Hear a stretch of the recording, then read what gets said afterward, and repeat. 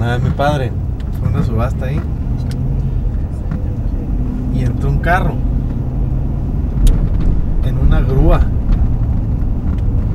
No servía. Tenía, no sé qué, tenía descompuesta la transmisión, no sé qué. Y lo compró. Se le hizo buen precio y lo compró. Cuando fue a recogerlo, pues le entregaron el carro. No, yo no compré ese carro. ¿Cómo no? Le dije, pues usted compró ese carro. En tanto, no, no, no. Yo compré el carro junto con una grúa muy bonita. que- Enojadísimo, ¿por qué no le daba la grúa también?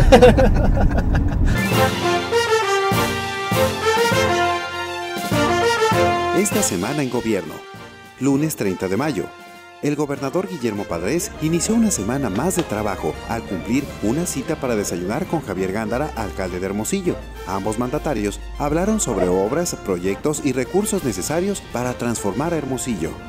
Más apoyos para la capital sonorense en este 2011, año de la transformación.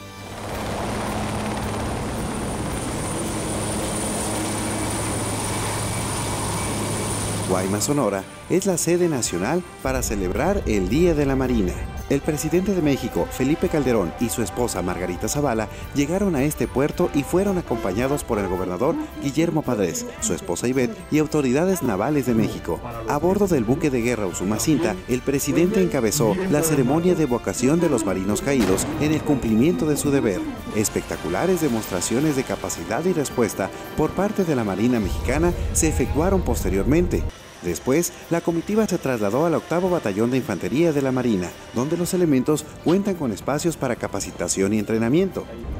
Gracias a la coordinación y apoyo, podemos presumir que en Sonora somos la frontera más segura y que nuestras cifras de homicidios relacionados al crimen organizado del 2010 al 2011 han logrado bajar hasta un 30%.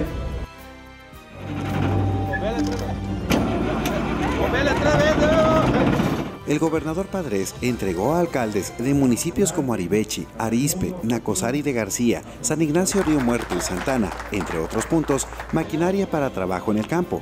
Un nuevo modelo de gobierno es municipalista y está siempre listo a impulsar el desarrollo de todos los sonorenses.